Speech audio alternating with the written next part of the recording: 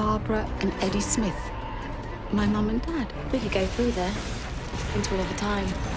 It's only dangerous to go back in time if you change something. And you're not going to. Where are Sarah Jane and Luke? 1951.